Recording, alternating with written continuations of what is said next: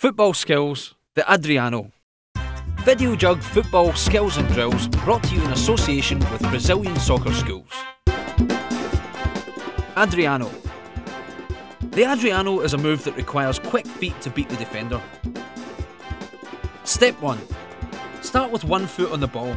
Bring the ball behind the standing leg and forward, and then use your other foot to bring it back across.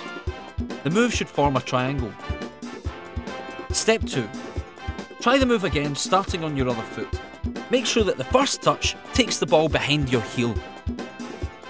Step 3. Now use the move, and then push the ball forward as if past the defender.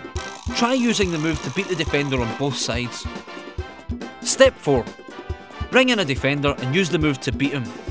Try using the move to beat the defender on both sides.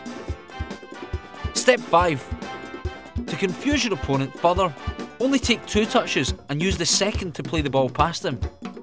A great move to beat a defender.